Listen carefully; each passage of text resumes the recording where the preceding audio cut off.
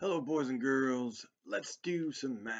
So today we're going to start off with our thinking caps. Right? We're going to put these on because we are going forward into a brand new chapter.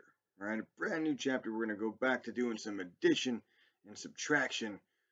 We're going to need our thinking caps to help us out.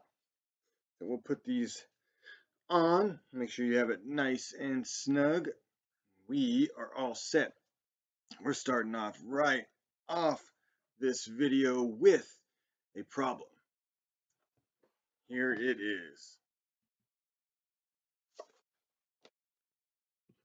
Uh-oh, you might say, because there's nothing here. All there is is 2. Can you come up with a problem that makes this true? Something minus something equals 2. Can you do that? I know you can. Make sure you guys write it down and send that to me with the rest of your work. Make this a true sentence. All right. So that's just our first step, right? That's, get, that's a little uh, brain teaser to get our minds eh, ready for what's to come. And what's to come is this. We are going to do some word problems. Now, we have uh, a chapter 5. Chapter 5 is what we're on. And right now, I just want you to use either a whiteboard or a piece of paper, okay? We're not, we don't have to worry about opening up uh, our, our book. I'm going to read uh, a couple problems to you, okay? I'm going to read a couple problems to you, and I want you to uh, put everything together, all right? And we're going to walk through the first one together, all right? First off, if we say that there are 16 turtles on a beach. Okay, so we have 16 turtles on a beach. That's first. Some swim away. How many swam away? Some. So we don't know. We don't know the number that swam away. Okay. Now there are nine turtles on the beach. How many turtles swim away? So we know that some swam away, and we, we want to figure that out we don't have that number. What we do have is that there are 16 turtles on a beach, some swim away, and now there's nine. Okay, so we know now there's nine, there was 16, how many swam away? The difference between the two numbers will be that answer. So let's take a look together. We have 16 turtles and nine swim away, right? Nine or some swim away. So some equals nine. This is what it would look like. We don't know this number. We know the first and the last. So what can we do to get there? Well, we can use our strategies that we've been using. We can use cubes, 16 and 9. Can I take 16 and take away 9 to get this middle number? Sure thing. I can also use uh, cubes to count on. I could use a number line to count back or count on. Count back, start at 16, count back 9, or start at 9, count up to 16. Right now, I have some cubes that have not been taken by Bigsby. So let's use these. Okay, so the first number that we have is 16. So I'm going to take my 10 I'm going to add six more to that to make 16. 1, 2, 3, 4, 5, 6. There we go. There's 16. Now, the next step is to take away 9 of these, right? 9 of these. 1, 2, 3, 4, 5, 6, 7, 8, 9. I'm left with this. 1, 2, 3, 4, 5, 6, 7. Now, I come back to my problem. I fill in a seven. How many turtles swam away? Seven. Just like that. Okay?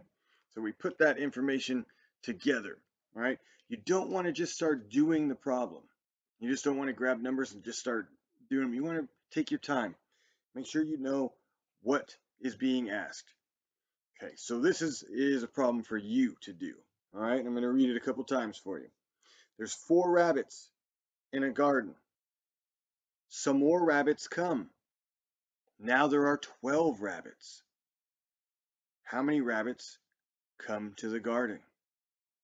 Okay, so you can use your number line. You can use your cubes. You can even use a picture for this one. There's four rabbits in the garden. Some more come. What is that asking? Or what is that telling you? Some more came. So it's adding, right? If I had four rabbits, and we don't know how many more come, but if some more come, we're getting more rabbits, right? So some more come. Now there's 12. So we need to count on until we get to 12. Or you can take 12 and subtract 4 to get the answer because you're gonna you're looking for the difference between the two, right? So you can find that. So I want you to write out that that whole sentence on your on your paper and then solve it. Okay. So when you turn it in, I'm going to see a complete math, addition or subtraction sentence, whichever one you're using. Okay. All right. And you can pause this because I'm going to do a couple more uh, a couple more word problems. So if you need time to work, please pause this video. Next, there's 14 birds in a tree. 14. Okay, it's a pretty big number. There's 14 birds in a tree. Some fly away. There are, are nine birds still in the tree. How many birds flew away? One more time. There are 14 birds in a tree. Some fly away. There are nine birds still in the tree. How many flew away? All right. What are we doing there? Addition, subtraction, which one are you choosing? Either way can get you there. Because remember, addition and subtraction are related. Right? So there's multiple ways to answer these. Okay. There are 20 ducks in the pond. 10 ducks swim away. How many ducks are still in the pond? There are 20 ducks in the pond. 10 swim away. How many ducks are still in the pond? Okay. All right. Couple more, just a couple more. Three eagles land in the trees. Now, 12 eagles are in the trees. How many eagles were there to start? Oh no. Calm down. We're trying to find the first first number. I know it sounds like it's going to be uh, crazy, but it's the same thing you have been doing up until this point. Right? Either add or subtract. You can count on or count back. Three eagles land in the trees. Now 12 eagles are in the trees. Right?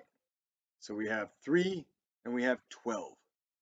So count on, count back. Let's all find the difference between the two. And you got it. Okay. Eight squirrels are in the park. Some more squirrels came. Now there's 16 squirrels. How many squirrels came to the park? So there's eight squirrels in the park. Some more came. Now there's 16.